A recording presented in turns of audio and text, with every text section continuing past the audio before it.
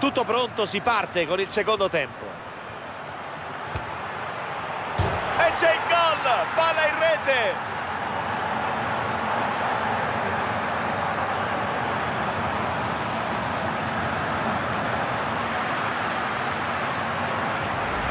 Una cannonata, un missile che non ha lasciato scampo al portiere.